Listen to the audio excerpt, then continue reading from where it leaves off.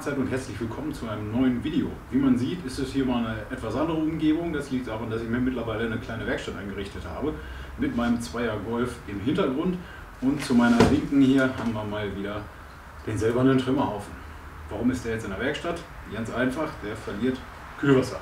Und die Frage ist, wo verliert er denn das Kühlwasser?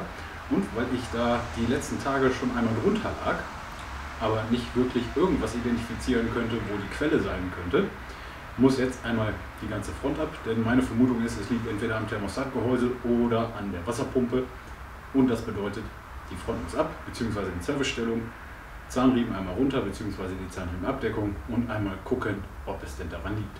So, und wenn es dann daran liegen sollte, dann muss der Zahnriemen auch runter. Und ich dachte mir, da bietet es sich vielleicht an, einfach direkt mal ein Video zu drehen, weil wenn der Zahnriemen runter muss, dann muss er auch wieder rauf und da kann man auch gleich mal erklären, wie man an diesem tollen Fahrzeug mit dem 2,4 Liter V6 Motor den Zahnriemen auswechseln kann.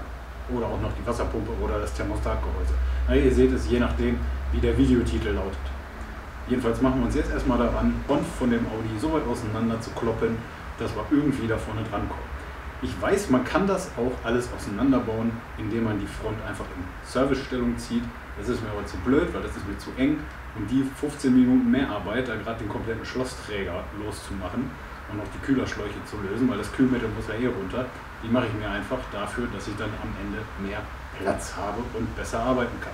Fangen wir einfach mal damit an, die Unterbodenpappe abzumachen, das Kühlwasser abzulassen und als nächstes widmen wir uns dann dem Stoßfänger, der muss auch runter und dann dem gesamten Schlossträger und vielleicht sehen wir dann auch schon, wo der Kühlmittelverlust denn herkommt. Fangen wir mal an. Richtig Bock auf die Scheiße. Die Unterbodenpappe kriegen wir gelöst, indem wir einmal diese Schraube und dann diese Schraube und da hinten gibt es auch noch drei Schrauben in der Reihe und äh, hier diese Plastikschrauben, das sind alles Schlitzschrauben rausdrehen und die Unterbodenpappe erstmal abbauen. Und nachdem das passiert ist, sieht man auch hier an der Ölwanne schon wunderbar irgendwelche Laufspuren vom Kühlmittel.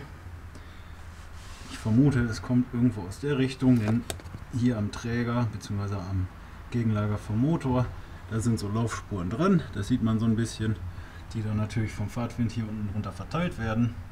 Aber hier hinten sieht man schon wieder eher nichts. Reißen wir das Ding mal weiter auseinander und dann sehen wir weiter. Als nächstes widmen wir uns drei Zehner Muttern auf jeder Seite, um den Stoßfänger zu lösen. Auf der rechten Seite in Fahrtrichtung muss wir dafür wahrscheinlich das Radhaus ein bisschen lösen, damit wir da dran kommen mit einer langen Verlängerung. Hier ist das Radhaus und da sitzen die drei Zehner Muttern. Auf der anderen Seite kommen wir einfach von unten da dran und deswegen mache ich die jetzt schon mal los. Und da gibt es auf jeder Seite auch noch zwei Zehner Schrauben. Der eine ist hier, die andere sitzt hier unten die dann den Stoßfänger auch noch so ein bisschen fixieren. Die müssen natürlich auch raus. Und auch wenn wir den Stoßfänger jetzt noch nicht losnehmen, kann man die Lüftungsschlitze hier schon mal rausziehen.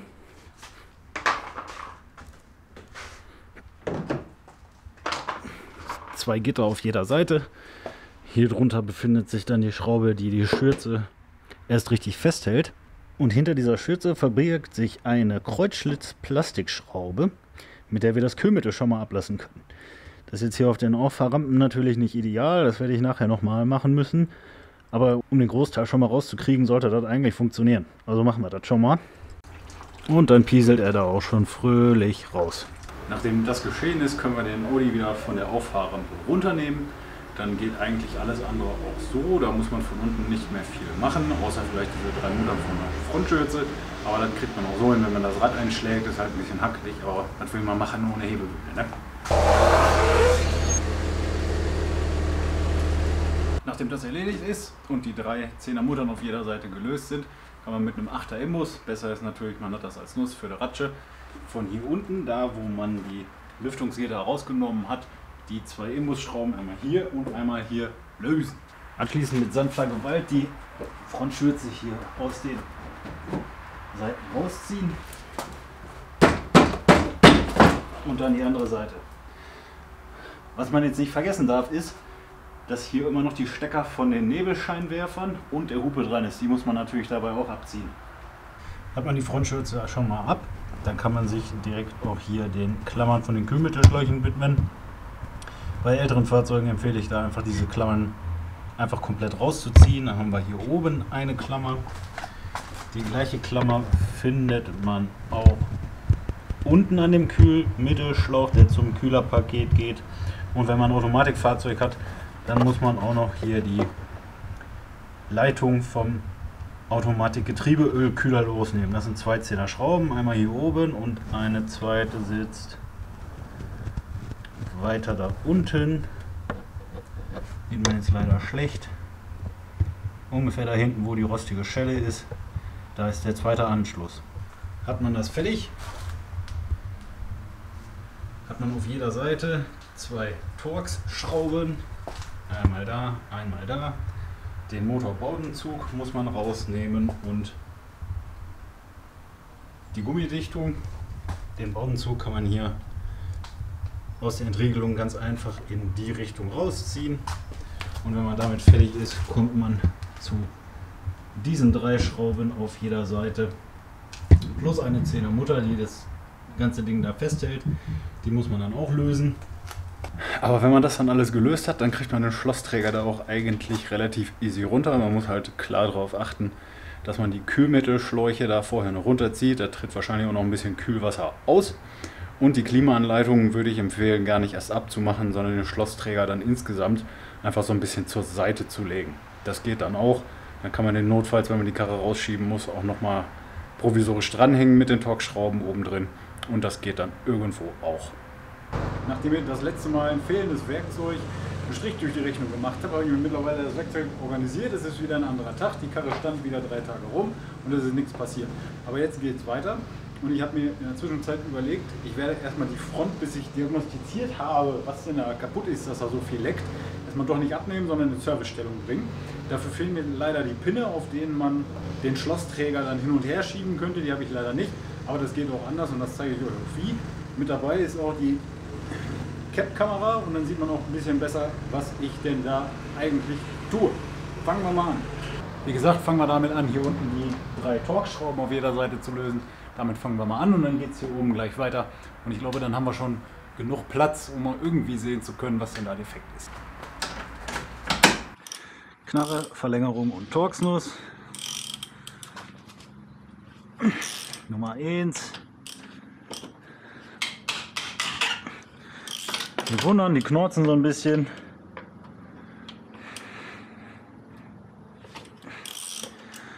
Aber die gehen relativ easy los.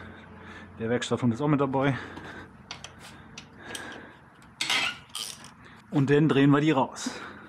Man sollte dann natürlich auch einmal gucken, ob alle Schrauben gleich lang sind oder ob da irgendeine länger ist und die dann natürlich irgendwie markieren, dass man weiß, wo die längere Schraube wieder hinkommt. Ist jetzt hier nicht der Fall. Zehnermuttern hier muss man meines Wissens nach nicht abmachen, weil ich glaube, die halten einfach nur das Ding daran fest. Ja, genau, die kann man dran lassen. Die Schrauben legen be beiseite.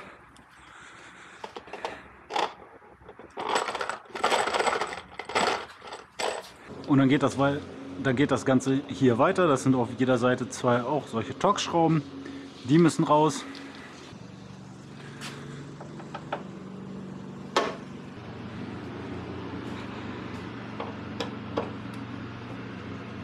Und dann hat man jeweils hier oben auch noch pro Seite zwei Torx-Schrauben. Die muss man auch lösen. Ich sage ganz bewusst erstmal lösen, denn jeweils eine Schraube pro Seite kann man sicher weglegen. Aber eine brauchen wir noch pro Seite. Denn wenn ich die jetzt löse oder die, dann kommt mir der komplette Schlossträger hier entgegen. Ich kann die aber verwenden, um den Schlossträger mit dem hinteren Loch am vorderen Gewinde zu befestigen. Da sollte man auf jeden Fall, wenn man die losschraubt, ein Knie vom Schlossträger haben. Und natürlich sollte man auch wirklich alle Schrauben vorne lösen. Da habe ich nämlich eine übersehen. So, und dann können wir ganz vorsichtig den Schlossträger ein bisschen nach vorne wackeln.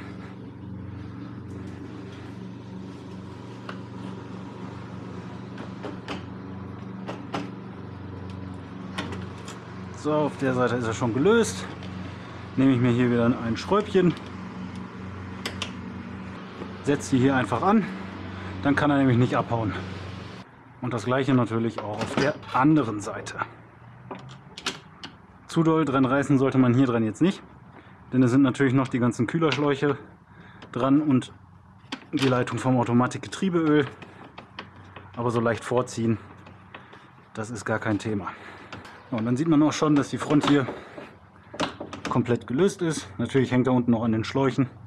Aber wir haben hier vorne jetzt auf jeden Fall halbwegs genug Platz, um ein bisschen zu arbeiten. Und nachdem das geschehen ist, haben wir genug Platz, um bei aufgelegten Keilriemen die drei 5er Imbusschrauben schon mal zu lösen. Da muss man die nämlich auch nicht gegenhalten. Und als nächstes mit einer 17er Nuss oder einem gekröpften Ringschlüssel den ganzen Keilriemen entspannen und abnehmen. Vorher natürlich die Laufrichtung von dem Keilriemen irgendwie markieren, damit er in derselben Laufrichtung auch wieder drankommt. Ich verwende da immer die Nomenklatur Pfeil nach rechts, dann muss er einfach nach rechts zeigen, also in Fahrtrichtung nach links zeigen. Macht einfach irgendwie eine Notiz darauf, in welche Richtung der aufgelegt werden muss, damit ihr den genau wieder so auflegen könnt. So, die Schrauben sind angelöst. Als nächstes gehen wir mit der Knarre auf die 17er Nuss. Mal gucken, welche Richtung ist denn entspannen. Anscheinend nach rechts. Dann ziehe ich den Riemen, Riemenscheibe von der Servopumpe runter. Die Riemenscheibe von der Servopumpe bleibt am besten drauf, bis der Riemen gelöst ist. Ansonsten hast du da Grand Cac de Malheur. Bei der Gelegenheit kann man den auch gleich einmal kontrollieren. Durchgeht. Wir sehen hier nirgendwo großartige Risse drin, dass die hier quer eingerissen werden, die Lamellen. Der ist also noch vollkommen in Ordnung. Der wird weiter verwendet. Nehmen wir die Riemenscheibe ab, am besten natürlich ohne, dass die Schrauben runterfallen. Und dann haben wir die abgemacht. So, anschließend müssen wir den Spanner für den Keilrippenriemen ausbauen. Der sitzt hier und da hat er hier auch eine Inbusschraube, die wir rausschrauben müssen. Dann kriegen wir auch den Rest von der Zahnriemenabdeckung runter.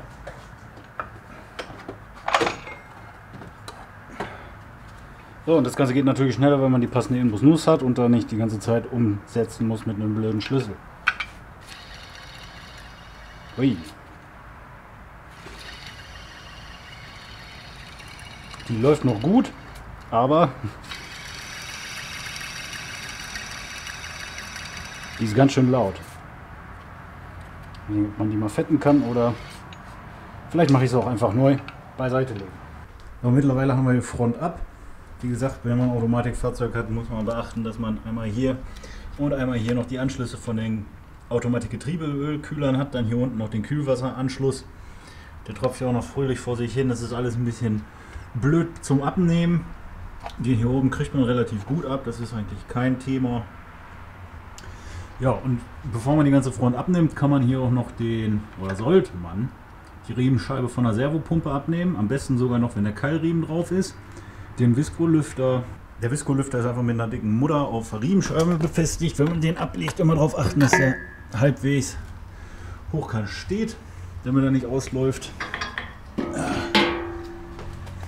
Der Visco-Lüfter ist an dieser Riemenscheibe befestigt.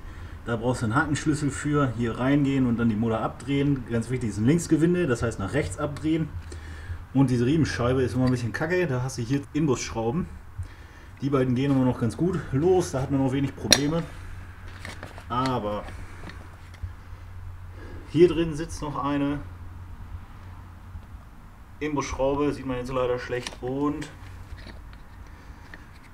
hier durch dieses kleine Loch muss er auch noch durch, da ist auch noch eine Imbusschraube. Das ist alles naja gelöst und wenn die rund sind, dann hast du richtig Kacke am Dampfen. So, und dann kann man sich, nachdem man noch den Spanner vom Keilriemen abgenommen hat, der Kurbelwelle widmen, beziehungsweise dem Zahnriemen. Da brauchst du einen 24er Ring Maulschlüssel für, den kannst du hier draufstecken. Und eigentlich sollte man irgendwie über die Kurbelwellen-Riemenscheibe und die Zahnriemenabdeckung das Ding dann auf OT drehen. Ist aber ein bisschen blöd, weil so eine Riemenabdeckung kann sich auch immer mal ein bisschen verschieben. Ich finde das nicht ganz optimal gelöst. Viel besser ist es da und ganz wichtig, wenn man den durchdreht, immer nur in Laufrichtung des Motors, also rechts rumdrehen, da man sich für das Einstellen der Steuerzeiten bei diesem Motor sowieso Spezialwerkzeug kaufen sollte. Klar kann man das auch mit Markierung irgendwo oben an den Nockenwellenrädern machen, finde ich aber blöd, weil es gibt Spezialwerkzeug dafür und das hat auch seine Gründe. Dann sollte man das nutzen. Und bei diesem Spezialwerkzeug ist so ein Dorn mit dabei. Und dieser Dorn kommt da hinten in den Motorblock rein. Sieht man jetzt schlecht, ist das silberne Teil unterhalb von der Imbusschraube. Und da sitzt ein Verschlussstopfen neben der Imbusschraube, im Prinzip direkt unter dem Motorlager mit einer 10er Schraube. Die kannst du rausschrauben und dann den Motor durchdrehen, bis er so halbwegs auf OT steht. Dann solltest du da mit deinem Finger auch schon irgendwie so eine Bohrung erfühlen können in der Kurbelwelle. Dann kannst du diesen Dorn oder diesen Fixierdorn, wie er bei VW genannt wird, einfach da reinschrauben und dann verstellt sich die Kurbelwelle auch nicht mehr. Das finde ich ziemlich genial gelöst, weil man diesen Verschlussstopfen erst einmal gefunden hat. Ich habe auch in den ganzen Videos zum Zahnriemenwechseln an diesem Top-Modell auch keinen gesehen, der diesen Fixierer verwendet hat, aber dann noch relativ fix gefunden. So, und jetzt kann sich die Kurbelwelle nicht mehr verdrehen. Wir können ein Spezialwerkzeug für die Nockenwellen einsetzen und den ganzen Kladderadatsch dann mal abbauen, um die Wasserpumpe austauschen zu können, denn die ist leider ein wenig undicht. Und mit ein wenig meine ich so gut 5 Liter auf 100 Kilometer. So, hat man das ganze Geraffel jetzt auf UT gedreht, muss man darauf achten, dass hier die großen Löcher in den Nockenwellenrädern gegenüberstehen, also nach innen Richtung Kurbelwelle. Denn dann haben wir die passenden Steuerzeiten. So, und dann kann man dieses Spezialwerkzeug da auch einsetzen.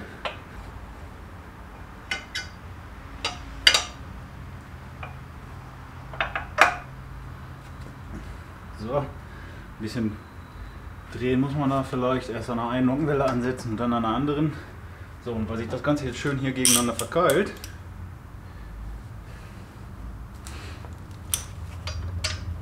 können wir die Nockenwellen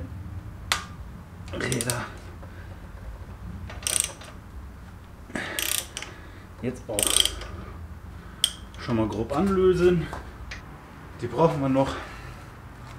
Und dann können wir uns dem Zahnriemen widmen. Der hat hier sein Spannelement beziehungsweise die Spannrolle. Und diese Spannrolle müssen wir jetzt zurückdrücken, damit wir hier den Spanner fixieren können und den Zahnriemen überhaupt irgendwie loskriegen. Dazu nehmen wir uns einen Imbus an der Zahnriemenspannrolle. Am besten holt man sich vorher auch schon den Imbusschlüssel, den man dann da reinsteckt.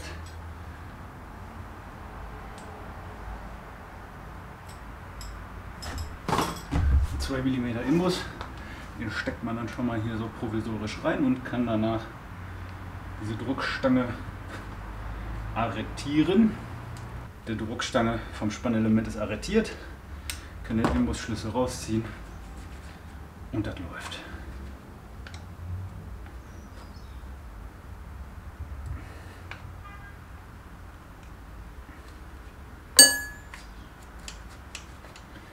So, jetzt können wir den Zahnriemen auch schon abnehmen. Vorsicht, da ist eine Unterlegscheibe drunter, die kommt gleich wieder. Und dann können wir den Zahnriemen, oh ganz wichtig, da ich den ja wieder verwende,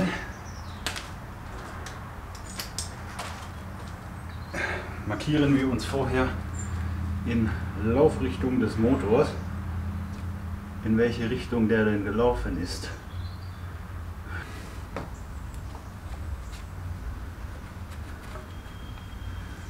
gucken, dass man so ein bisschen ziehen und drücken. Man könnte jetzt auch die Spannrolle hier noch ausbauen. Lassen wir die Kirche mal im Dorf. Den Zahnriemen von den Nockenwellenrädern runterkommt. Ich mich doch entschlossen, die blöde Rolle hier abzunehmen. Damit geht es wahrscheinlich doch ein wenig leichter.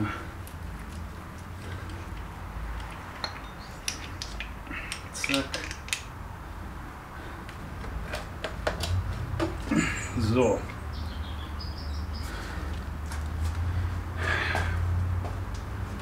So, kleine Knarre, 10er Nuss. Hey ho, let's go.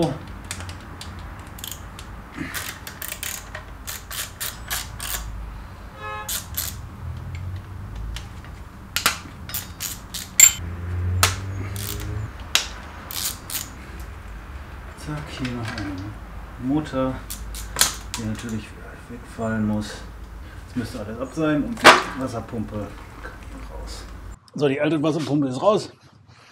Korpus liegt die Wasserpumpe. Wird erneuert.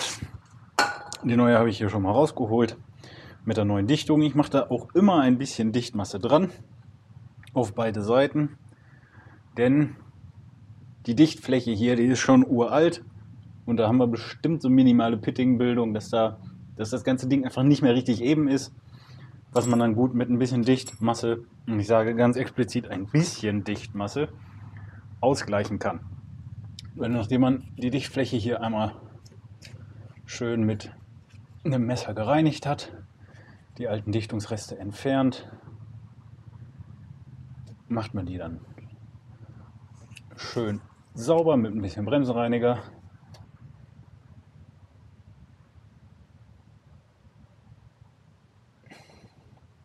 Da nehmen wir uns wieder die Wasserpumpe, stecken schon mal so zwei, drei Schräubchen da rein, damit sich die Dichtung dann auch nicht irgendwie verabschieden kann, während wir die ansetzen. Und weil die Dichtung eben von den Schrauben festgehalten wird, kann die dahinter jetzt auch nicht verrutschen. So, ganz wichtig, bevor man die Schrauben festzieht, erst alle ansetzen, denn sonst verzieht man womöglich die Wasserpumpe, beziehungsweise setzt die verzogen an. Das wollen wir nicht. Schön, genau wie bei Rädern, auch über Kreuz. Und es ist wunderbar plan vor den Block gezogen. Anzugsdrehmoment für die 6er Schrauben sind, meine ich, irgendwas zwischen 15 und 20 Newtonmeter, also gut handfest. Am Ende noch die beiden Muttern der Zahnriemenabdeckung hier dran machen.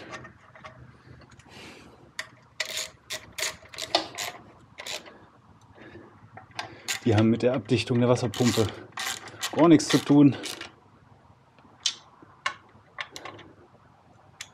Die einfach gut festziehen und fertig ist. So, neue Wasserpumpe ist drin, die Riemen und die Spannrolle ist auch wieder drauf und mit dem passenden Drehmoment festgezogen.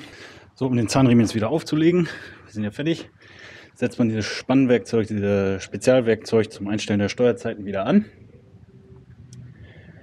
damit sich die Nockenwellen nicht verdrehen. Denn die Steuerzeiten der Nockenwelle werden wirklich nur über diese Platte mit den zwei Löchern da drin eingestellt. Die Nockenwellenräder so, müssen sich beim Auflegen des Zahnriemens hier wirklich frei bewegen lassen. Die Steuerzeiten werden nur über dieses Spezialwerkzeug eingestellt. Dazu nehmen wir das wieder da drauf, lösen die Schraube ein bisschen, geben im Abzieher da drauf und dann hat sich das Nockenwellenrad auch relativ einfach gelöst. Das ist gar nicht so fest angezogen. Das bekommt nur 55 Newtonmeter, deswegen kriegt man das von seinem Kegelpressverband auch wieder ganz gut runter. Als nächstes nehmen wir uns den Zahnriemen, gucken, wo wir uns die Markierung gesetzt haben für die Laufrichtung. Den Pfeil sehe ich jetzt wieder da. Das heißt, der Zahnriemen muss auch in die Richtung wieder aufgelegt werden.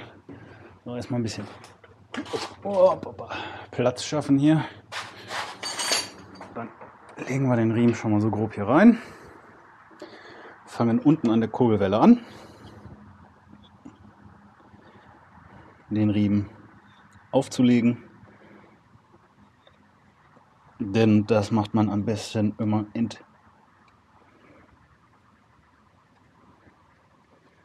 entgegen der Laufrichtung des Motors.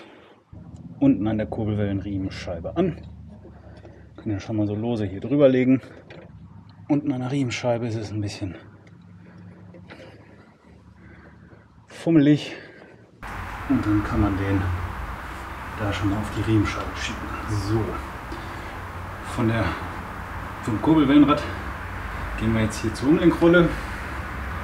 Von der Umlenkrolle schon mit so ein bisschen Vorspannung auf das Nockenwellenrad. Auch hier drauf achten, den schön bündig da drauf zu legen. Von da aus auf die Wasserpumpe. Und von der Wasserpumpe aus zum letzten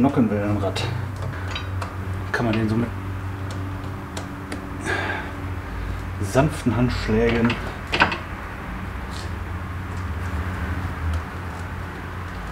auf die Nockenwelle drücken, auf das Nockenwellenrad.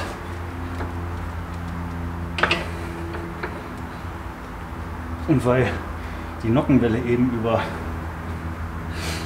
das Spezialwerkzeug blockiert wird und die Steuerzeiten, da wir die Kurbelwelle unten auch abgesteckt haben, definitiv passen, ist das alles wunderbar. So, und weil jetzt der Zahnriemen aufgelegt ist, können wir die Spannrolle komplett entspannen. Wir drücken wieder in den Stift hinein und lassen die Spannrolle dann einfach los und der Zahnriemen ist gespannt. Unsere Steuerzeiten passen, OT an der Kurbelwelle ist abgesteckt. Das heißt, jetzt werden die Nockenwellenräder wieder auf ihren Kegelpressverband hier drauf geschraubt mit der Schraube. Kriegt erstmal 30 Newtonmeter und danach nochmal 55 Newtonmeter. Und damit geht es so weiter. Und der Rest ist im Prinzip Schema F. So wie wir es ausgebaut haben, bauen wir es auch wieder zusammen. So, wenn wir die Nockenwellenräder dann mit 55 Newtonmetern festgezogen haben, dann nehmen wir den Fixierer hinten raus. Drehen den Motor zweimal durch. Zweimal den Motor durchdrehen. Dass die Kurbelwelle wieder auf OT steht. Dann nehmen wir uns nochmal unser Nockenwellen Einstellwerkzeug. Und Sie sehen, Kurbelwelle steht auf OT. Nockenwellen abstecken funktioniert immer noch. Vorgespannt ist die ganze Chose. Alles Taco. Kein Ventil schlägt beim Durchdrehen auf den Kolben. So, und dann geht es im Zeitraffer wieder an den Zusammenbau.